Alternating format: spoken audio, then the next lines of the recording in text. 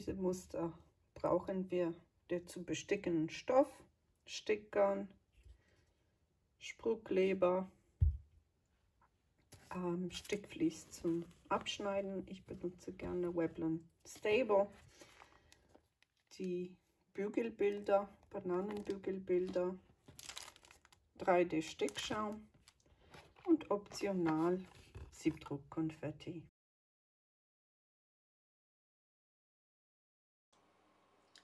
Mein Stickvlies ist trommelfest eingespannt. Ich habe bereits die erste Farbe, die Platzierungslinie gestickt. Ich klebe jetzt ein Stück Stickschaum über die Umrandung und sticke die zweite Farbe. Die zweite Farbe ist fertig gestickt. Das sind ganz kurze Stiche, welche den Schaum perforieren. Jetzt wird der Schaum vorsichtig abgezogen.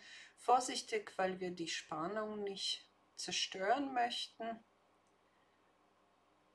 Und dann bleiben auf dem Stickvlies nur die 3D-Schaumbuchstaben.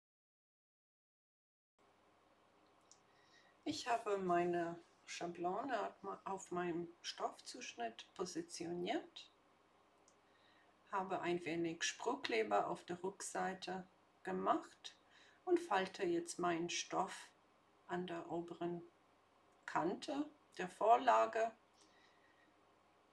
finde meine andere Ecke und positioniere meinen Zuschnitt auf der Platzierungslinie. Dann kontrolliere ich noch, ob alles passt, ob alle Ecken richtig sind. Wenn alles passt, kann ich die Schablone entfernen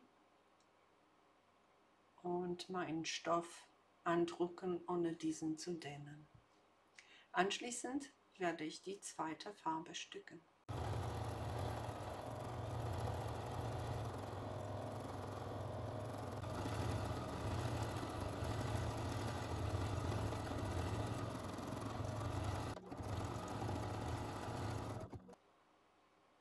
Das ist jetzt fertig gestickt. Ich habe das Projekt aus dem Rahmen genommen, das Vlies auf der Rückseite zurückgeschnitten.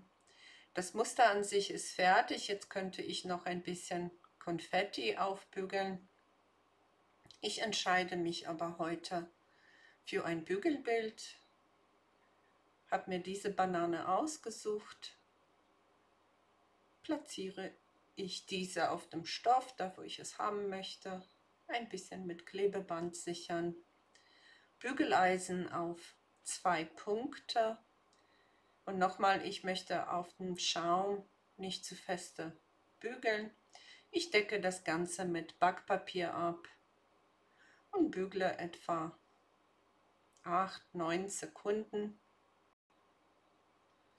Dann teste ich kurz, ob alles geklappt hat. Die Folie muss ein klein bisschen abkühlen. Und falls es nicht geklappt hat, bügle ich noch klein wenig nach.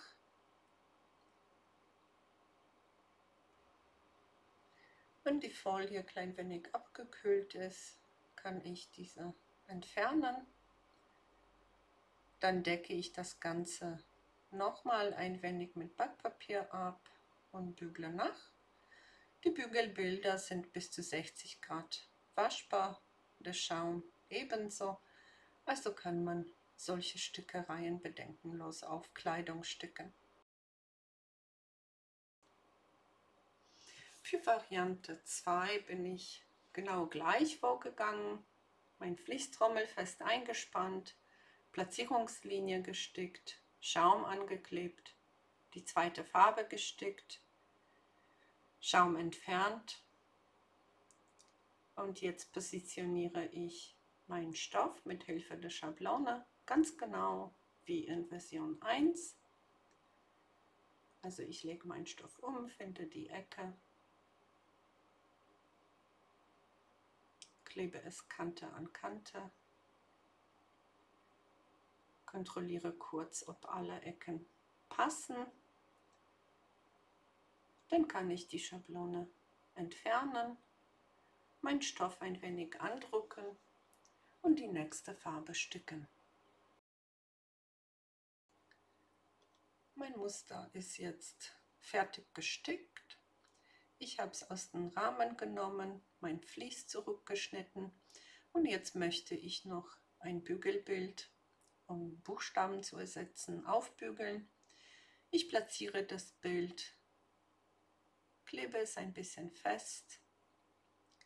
Mein Bügeleisen ist auf zwei Punkte erhitzt. Hier muss ich ein bisschen aufpassen, den Schaum nicht platt zu bügeln.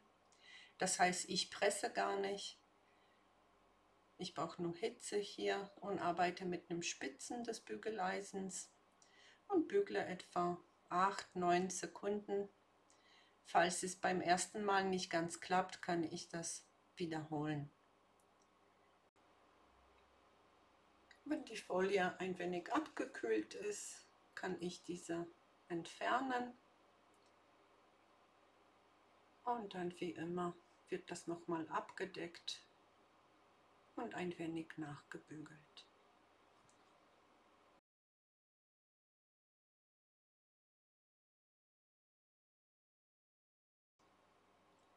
Für diese Variante arbeiten wir genau gleich, also Stickvlies einspannen, erste Farbe sticken, Schaum auflegen, zweite Farbe sticken, Schaum entfernen und dann kommt schon der Stoff drauf, also ganz genau wie bei den vorherigen Versionen.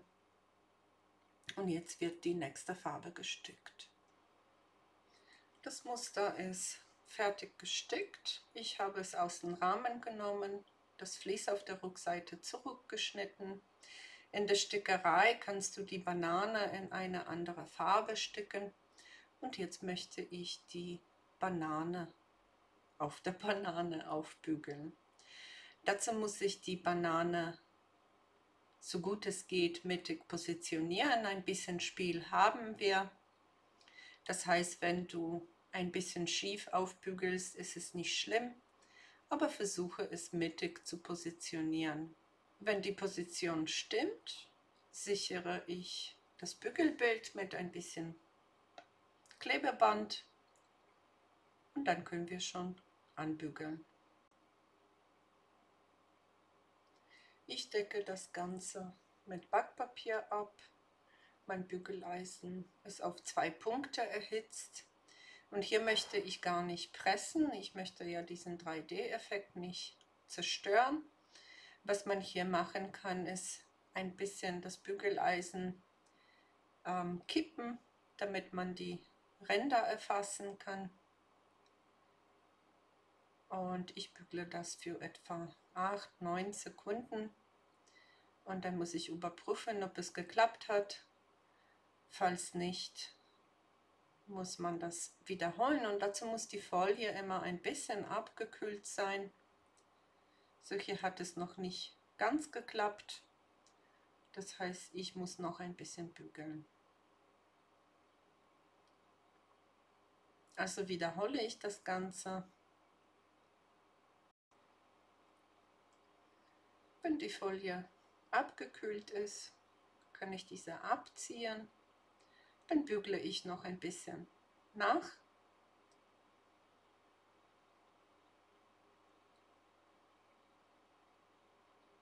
Und meine coole, bunte 3D-Banane ist fertig.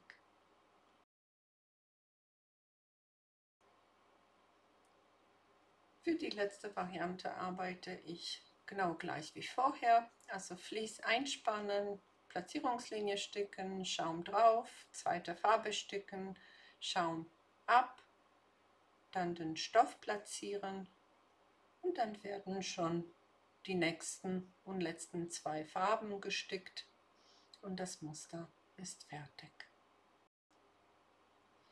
Mein Muster ist fertig gestickt.